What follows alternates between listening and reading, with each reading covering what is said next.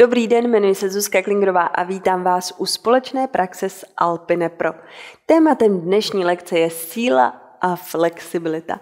Pokud praktikujete jogu, je vždy důležité, a nejenom v józe, aby síla a flexibilita šly společně ruku v ruce. Jak na to si ukážeme společně v následující lekci.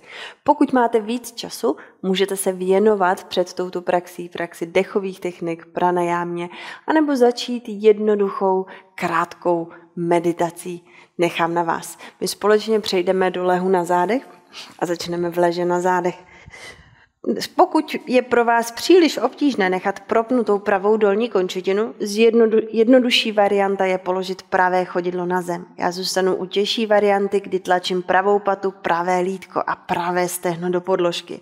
Přitáhněte levé stehno k bříšku a zkuste zatlačit stehno do prostoru pánev a hrudník. Soustřeďte se na správné zapojení svalů okolo ramenních kloubů.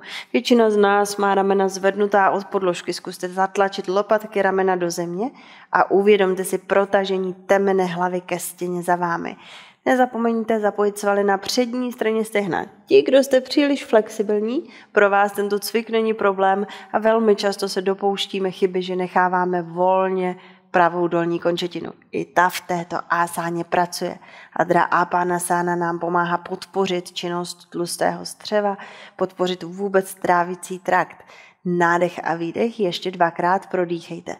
Nezapomeňte na správný dech. Nádech, bránice jde dolů, dno pánevní dolů, cítíte, jak se podbřišek zvedá a výdech dno pánevní vzhůru, podbřišek dovnitř a cítíte, že spodní žebra tlačíte k sobě a dolů. Přidáme zapojení břišních svalů, intenzivnější zapojení výdech, dno pánevní dovnitř a vzhůru. Zvedněte lopatky, ramena, šíji od země. Pokud cítíte přílišné zatížení šíje, jednou rukou si podložte hlavu. Pokud bez problému udržíte stehno u břicha, zkuste těžší variantu, kdy tlačíte lopatky od sebe, protrakce ramen, pravou patu, pravé lítko, pravé stehno do země, levé stehno k bříšku. Nádech a výdech ještě dva. Nádech a výdech. Nádech uvolníme a s výdechem položíme levou dolní končetinu na zem. Přitáhneme pravé stehno k bříšku a stejná asána na druhou stranu. Pokud chcete jednodušší variantu, úplně fajn levé chodidlo necháme na podložce. Tentokrát ukážu právě jednodušší variantu. Ti z vás, kdo jste hodně flexibilní a možná vás trápí i hypermobilita kloubů, soustřeďte se na pocit, jako byste češku, kost vepředu levého kolena, táhli vzhůru směrem ke kyčelnímu kloubu. Ještě dvakrát nádech a výdech, kdy cítíte příjemnou masáž vnitřních orgánů v oblasti břicha. Můžete vnímat nádech, prostor, který se tvoří v oblasti bederní páteře a výdech dno pánevní dovnitř a vzůru čelo ke kolenu. Protože jsem řekla, že budu praktikovat jednodušší variantu tentokrát, položím si jednu ruku pod hlavu a druhou si pomáhám tlačit stehno k břichu. Nádech a výdech. Ti z vás, kdo chcete větší výzvu, hledáte větší sílu, nechte propnutou dolní končetinu. Pokud udržíte stehno u bříška, pouštíte ruce. Ještě dvakrát nádech a výdech. Naposledy. Nádech uvolníme a s výdechem se položíme na zem. Přitáhneme obě stehna k břichu a pána sána, která znovu podporuje činnost tlustého střeva, masíruje játra a slezinu, orgány, které souvisí s emocemi. Nádech a výdech. Cítíte, jak se uvolně bederní páteř, ale zároveň jak tlačíte pánev směrem do podložky, lopatky, ramena. Ještě jednou nádech a výdech. Pozor na záklon hlavy. Nádech a s výdechem dno pánevní dovnitř a vzhůru, podbřišek dovnitř. Přitahu čelo ke kolenu. Znovu pokud potřebuju jedna ruka pod hlavu, a nebo pokud chci větší výzvu, tlačím stehna k břichu, čelo mezi kolena. Ještě tři. I ještě dva. A uvolníme. Čeká nás test síly svalů centra těla. Nezapomeňte správně zapojovat i svaly na přední straně šíje.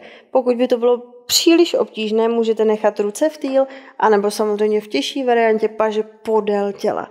Já začnu jednodušší variantou, kdy si položím jednu ruku v týl, položím blok na přední stranu stehna a přitáhnu čelo k bloku.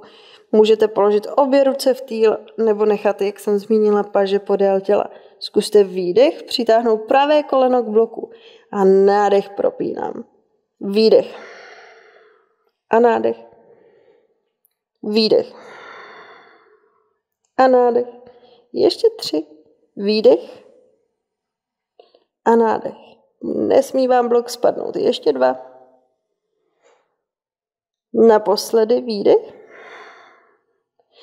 Nádech uvolníme a zkusíme přidat výdrž. Pět, čtyři, tři, dva, jedna a uvolníme.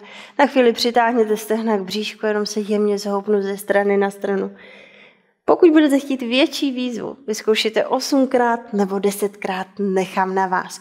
Pokud vám blok padá, aspoň vidíte, kde chybí vašemu tělu síla, abyste mohli rozvíjet svoji flexibilitu. Propnu pravou, levou dolní končetinu, položím blok na přední stranu pravého stehna. Tlačím čelo do bloku, stehno do bloku, můžu položit obě ruce v týl, anebo nechám paže podél těla. Výdech a nádech. Výdech a nádech. Ještě tři. Ještě dva. Naposledy. A držím pět, čtyři, tři, dva, jedna a uvolníme. Odložím blok a jemně se zhoupneme ze strany na stranu.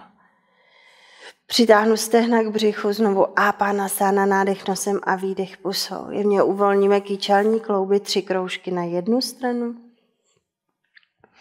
a tři v protisměru. Míst, naše kýčelní klouby je místo, kde většina z nás hledá flexibilitu. Naopak možná se cítili zapojení, intenzivní zapojení břišních svalů a pocit stability, který hledáme v oblasti bederní páteře. Zhoupněte se ze strany na stranu a pomalečku přes pravý bok přejdeme do sedu a do pozice hole dandásána. Odtáhněte hýžďové svaly od sedacích kostí. Pokud eh, máte problém s pozicí hole dandásána a chcete cítit, jak správně zapojit svaly v této ásáně, aby vám přinášela sílu i flexibilitu, vezměte si k ruce blok, položte blok mezi stehna. Zkuste zatlačit stehnama do bloku. Pokud cítíte, že vám jdou ramena dopředu, trápí vás horní skřížený syndrom, to znamená, že některým svalům chybí síla a některým právě flexibilita, položte si pro vás přes bříška chodidel, tam, kde máte kost pod palcem na noze a zatlačte chodidlama do provazu, lokty přitáhnu k trupu a jemná retrakce ramen. Jako byste lo, ramena tlačili dozadu a cítíte, že jdou lopatky směrem dovnitř, do vašeho trupu a dolů. Nezapomeňte i hlavu. Správné postavení krční páteře, jako byste jemně zasunuli bradu dozadu. Třikrát prodýchám. Ještě dva. Naposledy a uvolníme. Odložte si pomůcky a zkuste nechat sedací kosti spojené se zemí a přitáhněte jenom levé stehno k bříšku. Až napočítám od 3 do 1, zkusíme propnout dolní končetinu. Ať už se chytněte za špičku chodidla, anebo necháte dlaně pod stehnem. 3, 2, 1, nádech a výdech propnu ještě tři, ještě dvakrát prodýcháme. Až znovu řeknu jedna, zkusíme pustit ruce. Tři, dva, jedna. Zkuste nepouštět trup dozadu. Přitahuji stehno k bříšku. To, že vám dolní končetina padá, je úplně normální. Zal nemá dostatečnou sílu a postupně samozřejmě se snižuje jeho výkonnost a uvolníme. Čeká nás stejná kombinace na druhou stranu. Přitáhnu pravé stehno k bříšku. Stejně jako když jsme leželi na zemi, zkuste tlačit stehno do prostoru pánev a hrudník. Tři, dva, jedna, nádech a s výdechem zkuste propnout dolní končetinu. Pokud se chcete chytit za špičku chodidla nebo lítko, úplně fajn. Až řeknu jedna, zkusíme pustit ruce. Tři, dva, jedna. Jemná protrakce ramen, zasunu bradu, abyste nepřetěžovali svaly na, v oblasti šíje, nádech a výdech. Ještě jednou a uvolníme. Přitáhneme obě stehna k bříšku a varianta sány v sedě. Pokud zvládnu, zkusím pustit. Tlačím stehna do prostoru pánev a hrudník. Zkuste si uvědomit horní část svalu, na svaly v horní části stehna. Ještě tři. Ještě dva. A uvolníme výdech bedra do zádu, nádech, vytáhnu se z pasu. Ještě dvakrát výdech pod bříšek dovnitř. Nádech, vytáhnu se z pasu naposledy. Výdech a nádech čeká nás pozice loďky Navásana, která je krásnou ukázkou toho, kdy jde flexibilita a síla ruku v ruce. Znovu záleží na vás, do jaké fáze asány se dostanete. Neexistuje nic takového jako dokonalá fáze asány. Každý z nás máme rád jinak zralé ovoce, jinak zralý banán, jinak zralé jablko, někomu vyhovuje banán hodně zralý, někdo ho má radši méně zralý a někdo možná ideální žlutý banán. Stejně tak je to s praxí asan. Každé tělo potřebuje jinou fázi asány. Každý z nás máme jinou sílu, jinou flexibilitu. Proto vám ukazuji varianty asan a vy si vyberete tu, která vám postupně pomůže získat větší sílu a flexibilitu. Chytněte se pod stehny a klidně položím paty na zem. Soustřeďte se na oblast podbřišku a znovu vnitřní stranu stehen a přední stranu stehen. Pokud zvládnete, zkuste zvednout paty od podložky. Výdech pod břišek dovnitř. Výdech žebra jdou k sobě a dolů. Pokud zvládnu, pouštím paže. Zapoj, zasuňte bradu. Pokud chcíte ještě dál, propínám dolní končetiny. Pohled jako by směřoval na palce na nohu. Nádech a výdech. Ještě tři. Ještě dva. Jakákoliv z. Samozřejmě můžete zůstat i u varianty, kdy si držíte stehna, jemná protrakce ramen, nádech uvolníme a s výdechem přejdeme do kleku na všechny čtyři. Zkontrolujte postavení loktů. Lokty směřují nad malíčky, abyste nezhoršovali hypermobilitu loktů, pokud by vás trápila. Nezapomeňte, že postavení loktů rozhoduje i o tom, jak správně zapojíme prsní svaly, které mají tendenci se oslabovat. A pak samozřejmě dochází nejenom díky oslabeným prsním svalům, je to jedna z částí, která tvoří právě problémy horního skříženého syndromu a naše páteř, hrudní páteř pak ztrácí svoji flexibilitu. Právě oblast hrudníku je místo, kde hledáme flexibilitu. Ne v oblasti beder, ale v oblasti hrudníku. A na to se zkusíme soustředit i při pozici kočky a krávy, kterou možná notoricky znáte. Z kontrolu postavení loktů, výdech kočka, Táhnu pod dovnitř, žebra tlačím k sobě a dolů lopatky od sebe. Nádech zkuste zatlačit stehna proti sobě a nesoustřeďte se na prohnutí v bedrech, ale právě na otevření hrudníku. Stejně jako v pozici hole, zkuste tlačit ramena dozadu a lopatky směrem dolů. Výdech kočka. Nádech kráva. Výdech kočka. Nádech pozice krávy. Naposledy.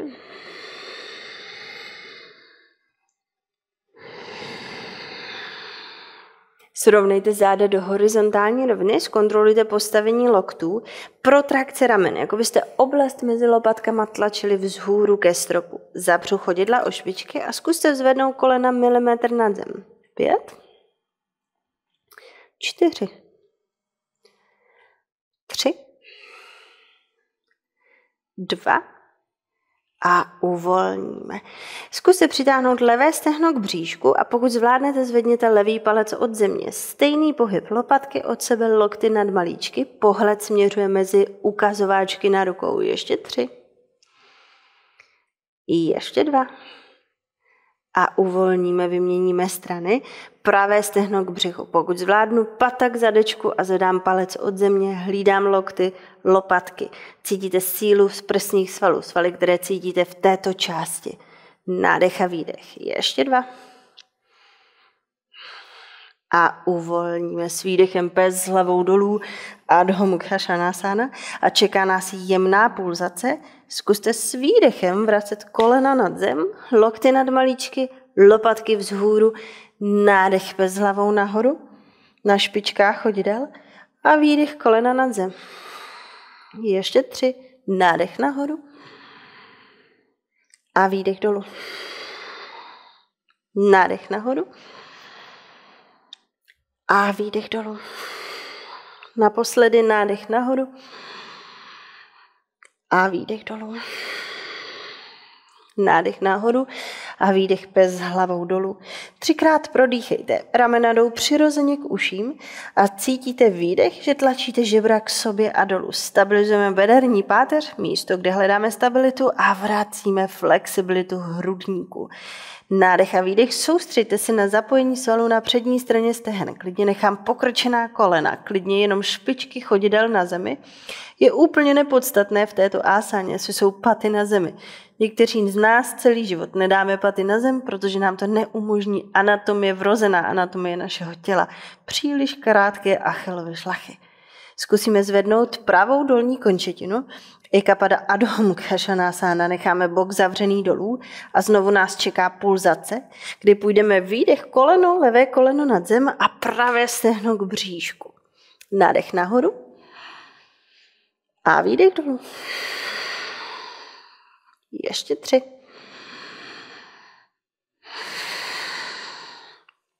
Ještě dva. Naposledy. Nádech uvolníme a výdech pozice dítěte balásána. Nechte kolena na šířku kyčlí, aby se s nádechem bříško dostalo mezi stehna. Nechám na vás, zda zvolíte variantu, kdy spojíte předloktí a podložíte si čelo.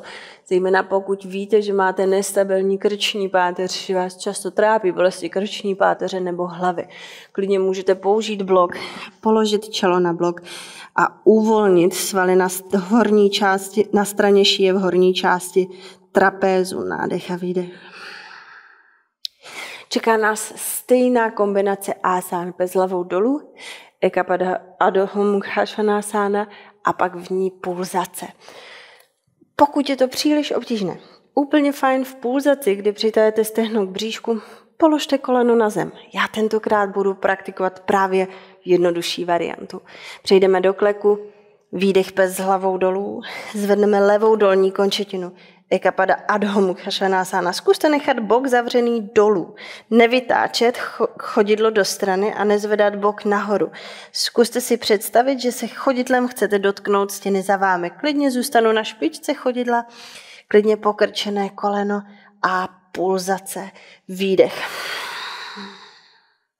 Nádech. Výdech, já praktikuji jednodušší variantu, kdy pokládám koleno na zem a nechávám palec na podložce. Nádech nahoru, výdech dolů. Nádech nahoru, výdech dolů. Naposledy nádech nahoru, výdech dolů. Nádech uvolníme a výdech pozice dítěte balásána. Na špičkách prstů se vytáhneme dopředu a pozice Anahata Asány, která právě vrací flexibilitu hrudní páteře. Zkuste přecházet postupně z varianty nejjednodušší k těžší a těžší. Nechám na vás. Možná znáte z jogových knih variantu, kdy leží brada na zemi, která je skvělá pro ty z nás, kteří umí správně zapojit svaly v horní části našeho trupu. Raději zůstaňte v jednodušší variantě a soustřeďte se, jak skutečně stabilizujete svaly okolo ramenních kloubů a jak pracují svaly mezi lopatkama a svaly mezi žebry, které právě pomáhají stabilizovat naše lopatky a ramenní klouby. Nejjednodušší variantě necháme předloktí na zemi a dlaně na podložce, avšak nenechte je jenom volně, zkuste zatlačit dlaně do podložky. Pokud zvládnu, přidám zvednutí loktu. Cítíte, jak klouby pod prstama na rukou tlačíte do země. Pozor, palce jsou u všech ostatních prstů. další variantou je, že otáčím dlaně proti sobě. Nádech a výdech. Ještě dva. Nádech a výdech. Nádech, zvedneme čelo od země a položíme pravé chodidlo mezi dlaně. Anjaniya Asana. Nás čeká jemná rotace, vtáhnu pod bříšek dovnitř, nechte klidně zapřené levé chodidlo o špičku a pohlídám postavení levého loktu. Pokud zvládnu, zvednu pravé, levé koleno od země. Nádech a výdech. Ještě tři. Tlačím vnitřní stranu stehna k bříšku, bříško ke stehnu. Ještě dva. Nádech uvolníme a s výdechem koleno na zem podsunu, posunu levý kyčelní kloub nad levé koleno a propnu pravou dolní končetinu a varianta pozice polovičního opičího krále Adráhanu Manasana. Nádech a výdech. Zkoustřeďte se znovu, jak tlačíte pod břišek směrem k horní části stehna. Ještě tři. I ještě dva. Nádech, pohled před sebe. Zkontrolujte znovu postavení loktů. Pokud byste potřebovali, můžete položit ruce na bloky. Lopatky od sebe. Až řeknu jedna, zkusíme zvednout patu nad zem. Pokud bude pro vás příliš obtížné udržet zvednutou dolní končetinu, můžete klidně zvolit variantu pulzace. Nádech, tři, dva, jedna a s výdechem zvedám patu nad zem. Pokud je to příliš a neudržím, nádech uvolním. Výdech zvednu. Nádech uvolním. Výdech zvednu, ještě dvakrát prodýchám, nádech uvolním. Výdech naposledy. Nádech, položíme chodidlo zpátky na zem a zkuste se opřít dlaněma o, se, o stehno. Zatímco jdou boky dopředu, výdech žebra k sobě a dolů. Stabilizuji bedra a zkusím zvednout špičku levého chodidla. Možná vás chytne křeč do zadní strany stehna, možná svaly na zadní straně stehna jsou překvapené, že musí něco dělat. Zkuste tlačit stehna proti sobě a kontrolovat zadek. Ještě tři. Ještě dva a uvolníme. Čeká nás pozice, která se nazývá Uthan Pristhasana, která je kombinací dvou předcházejících pozic.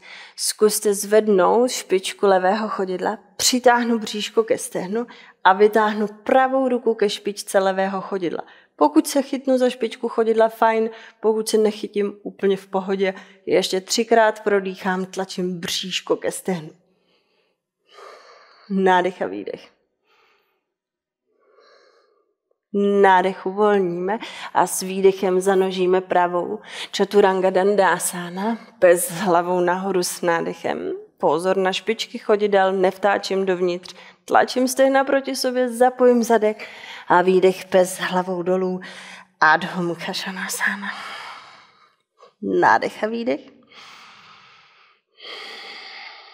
Levé chodidlo mezi dlaně a položíme pravé koleno na zem. Čeká nás rotace Parivrta Anjaniya Asana. Tentokrát budu praktikovat jednodušší variantu této rotace. Pokud chcete, zůstaňte u těžší. Klidně položím pravou ruku na zem. Vtáhnu si pod bříšek ke stehnu, pod bříšek dovnitř, přitáhnu bříško ke stehnu, pohlídám pravý loket a klidně nechám levou dlaň položenou na levém stehně a pomáhám si jemně zvedat trup nad stehno. Nádech a výdech. Ti z vás, kdo chcete jít dál, zvedáte koleno od podložky, Můžete vytáhnout paži vzhůru. Ještě tři. Ještě dva. Pozor, aby vám nepadal pravý bok dolů. Tlačím stehna proti sobě, i když jsou daleko od sebe. Nádech uvolníme a výdech posunu pravý kyčelní kloup nad pravé koleno. Čeká nás hadra Hanumanasana, já zase zůstanu u jednodušší varianty, kdy použiju bloky a tlačím pod bříšek ke stehnu. Ještě tři. Ještě dva.